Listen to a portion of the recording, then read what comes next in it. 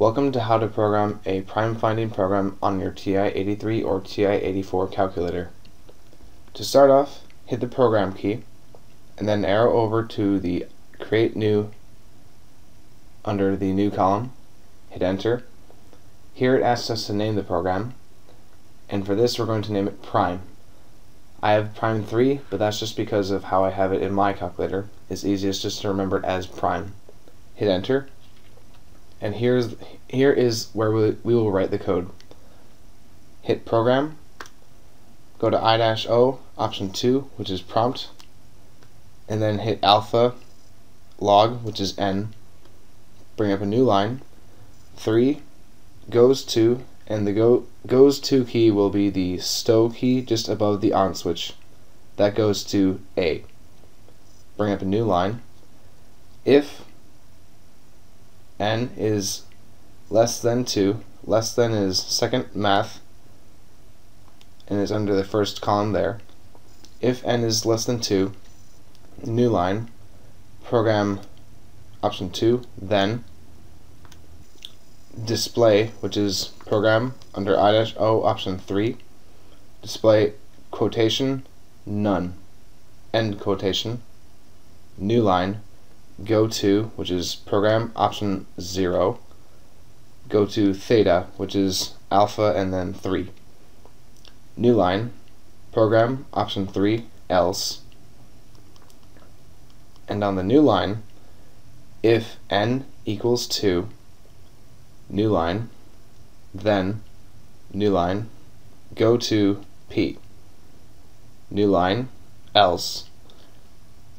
New line, if F part, which is math, under the number column, option 4, F part, n divided by 2, n parentheses, if that equals 0, and the end function can be found under second math, under logic, option 1, if that and n does not equal 2, new line, then new line, n minus 1 goes to, which is the stow key again, that goes to n.